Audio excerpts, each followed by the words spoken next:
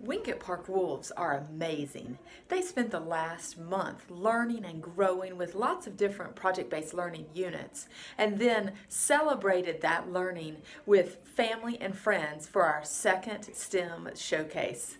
I hope you enjoy. Hello, turn around. Caleb. Here's your guest. Some call him Caleb Here's your guest. What did you make for your Special Olympic project? A ramp. A cane. What else did you make? A sticker. A map. What did you like about the STEM showcase yesterday? The third graders coming over and I got to talk to them.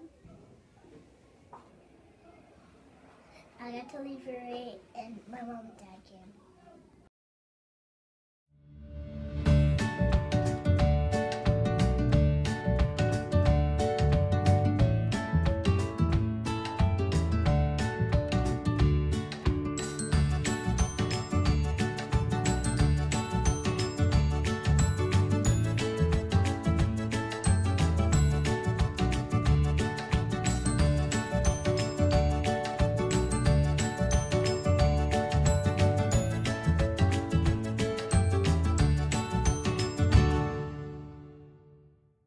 Country did you learn about? Turkey, Jamaica.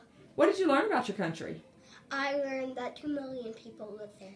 And I learned that they have small streets that are made out of bricks, not like smooth pavement. And what did you like best about the STEM showcase? I like best that like I showed them how to log on to Culturegram. It was because my dad, um, he came for me and Luca.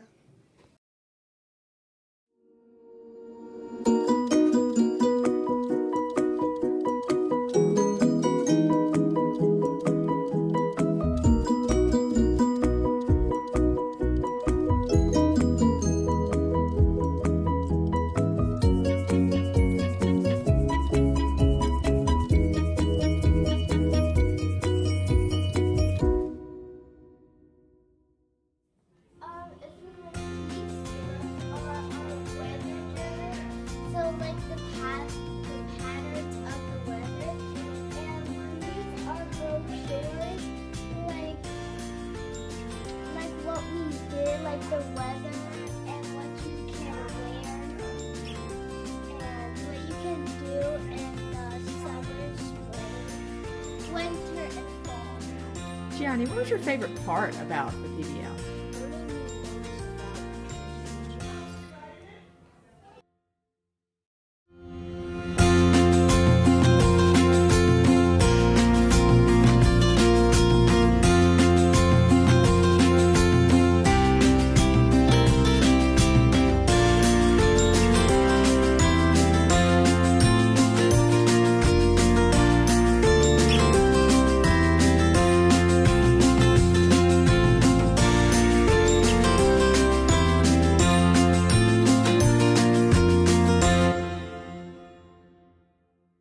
What did you learn about frogs?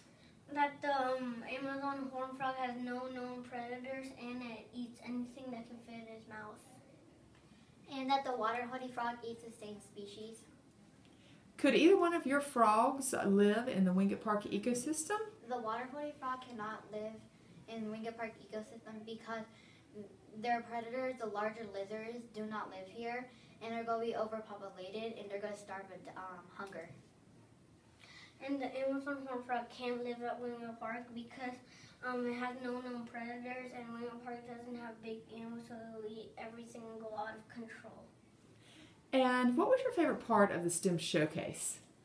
That we were reading to the kindergartners and they were learning new things. And that um, my mom came and listened to my book and other kindergarteners class that they asked questions about frogs and to learn more about it.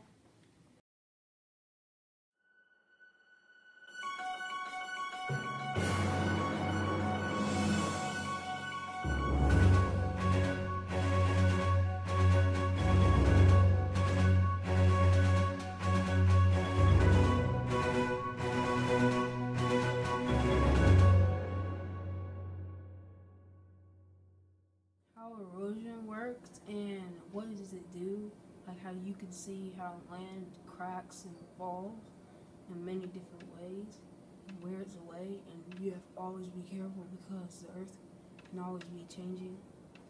I learned that um, trees' roots stabilize the soil and help prevent erosion so that um, the earth can kind of keep its shape and also turf type tall fescue is a is a deep rooted grass that also helps prevent erosion in erosion prone spots. What was your favorite part about the STEM showcase yesterday? My favorite part was presenting to all the people that came to my station and the kids. And I like presenting too, but I also did like seeing what other people learned. Because they didn't just do like erosion and weathering and all that stuff. They did like countries, like a bunch of science experiments, and it was really cool.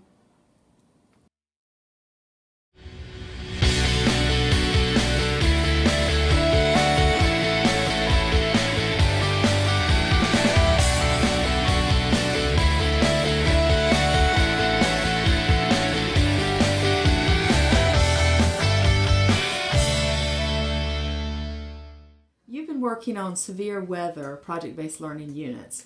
What did you learn? I learned a lot of safety tips from all the PBL project projects about weather. And the STEM showcase yesterday, what was your favorite part? Um, I liked how we presented to the second graders and then the second graders presented to us.